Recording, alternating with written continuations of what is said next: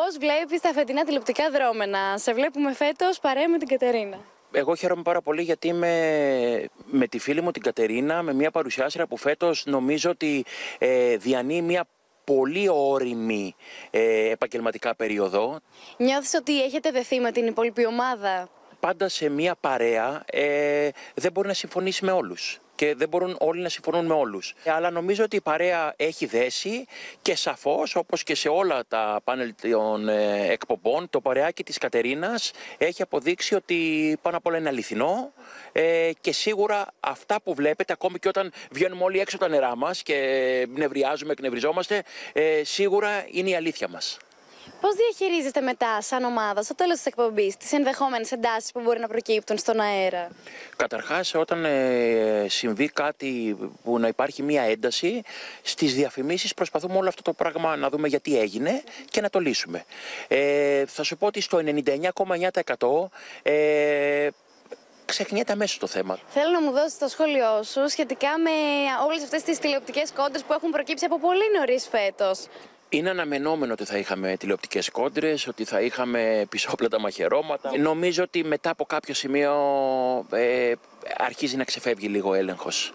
Εμένα δεν με βρίσκει σύμφωνο όλο αυτό. Απλά φέτος είναι πολύ, πολύ ισχυρός ο ανταγωνισμός και ε, κανένας δεν θέλει να, να αφήσει αναπάντητο κάτι εάν νιώσει ότι θίγεται. Πώς σου φαίνεται η εκπομπή του Γιώργου Λιάγκα; Κοίταξε να δεις, ο Γιώργος Ολιάγκας είναι ένας επαγγελματίας, ένας εξαιρετικός παρουσιαστής. Είναι καλό να υπάρχει υγιής καλός και δυνατός ανταγωνισμός.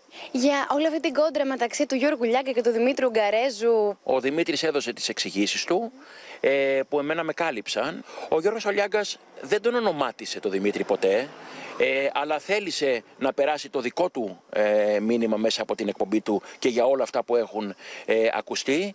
Ε, άρα εγώ δεν μπορώ αυτή τη στιγμή να σου πω ότι τάσομαι υπέρ του Δημήτρη ή του Γιώργου Λιάγκα. Νομίζω ότι και οι δύο ε, κύριοι έχουν δίκιο, υπάρχει παιδεία και καλό θα είναι κάποια στιγμή μελλοντικά να τα βρουν. Γιατί έχουμε δει πάρα πολλές φορές ε, πώς κάποιες κόντρες και κάποιες φιλίες που χαλάνε ε, με την πάροδο των ε, χρόνων όλα έτσι έρχονται και γίνονται καλύτερα. Πρόσφατα και η Face Κορδά πέταξε κάποιες πόντες για τον Γιώργο Λιάγκα όσον αφορά το Δήμαρχο Αχιλέο Μπέο. Εγώ προσωπικά δεν θέλω να ξανασχολιάσω κάτι που αφορά ε, έναν θεσμικό ρόλο ε, και έναν άνθρωπο που ε, έχει κριθεί και όλοι μας ε, κρίναμε τα λεγόμενά του που ήταν πολύ μεγάλο λάθος. Όσο αφορά τις δηλώσεις Face Κορδά και αυτή μπήκε στο τρυπάκι, νομίζω δεν το έχει ανάγκη. Ε, δεν είναι ε, απέναντι από τις συγκεκριμένες εκπομπές και απέναντι από τον Γιώργο. Ποτέ δεν είπε το όνομα του Γιώργου Λιάκα και ποτέ δεν είπε και το όνομα του Δημήτριου Γκαρέζου. Γίνεται συχνά τελευταία λόγος περί καλών και κακών παιδιών για όλες αυτές τις ανάρμοστες συμπεριφορές. Εσύ έχεις τύχει να βιώσεις κάτι παρόμοιο ή να βρεθείς μπροστά σε κάτι τέτοιο; Πριν πάρα πολλά, πολλά χρόνια που, είχε να, που αφορούσε όμως ρεπορτάζ το οποίο το υπερασπίστηκα μέχρι τελευταία στιγμή. Ε, απολύθηκα από κανάλι και αυτό ήταν το Alter. Άρα όλοι μας κάνουμε λάθη τα οποία πρέπει να τα αναγνωρίζουμε.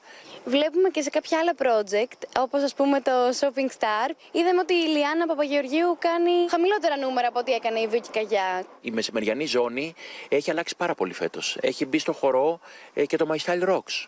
Υπάρχει ο Νίκος Ευαγγελάτος. Ε, υπάρχει ένα κομμάτι του Ρουκζούκ που παίζει απέναντι από την Ιλιάνα. Ε, πλέον όποιος κάνει 11, 12, 13% θεωρείται νικητής φέτος. Να μου πεις και αν παρακολούθησες καθόλου το celebrity, ακούσαμε και κάποια πολύ μεγάλα ποσά, πενταψήφιους αριθμούς για την ακρίβεια που δίνονται σε κάποιους παίκτες. Και εγώ, αν θα υπήρχε μια πιθανότητα να μπω σε αυτό το παιχνίδι, θα πήγαινα μόνο εάν έπαιρνα χρήματα. Γιατί εκ του αποτελέσματος και αυτό που βλέπουμε στις οθόνες μας είναι κάτι πολύ δύσκολο ε, και είναι και κάτι το οποίο ε, πρέπει να, να αλλοιώσεις και το χαρακτήρα σου. Πρέπει να υπάρχει ίντρικα, πρέπει να τσακωθείς. Είναι ένα reality. Απλά είναι σε μια πιο light version και νομίζω ότι είναι και ένα στίχημα για το Sky φέτος ε, το συγκεκριμένο project να του πάει καλά για να είναι και ο προπομπός για το Survivor που θα έρθει το δεύτερο μισό της σεζόν. Θεωρείς ότι είναι απομίμηση του Survivor; Θυμίζει σε κάποια πράγματα Survivor, αλλά από τη στιγμή που έχεις να κάνεις με celebrities που μπορούν να είναι ντυμένοι, που μπορούν να κάνουν μπάνιο, που τρώνε κανονικά, δεν το λες ε, reality επιβίωσης αυτό;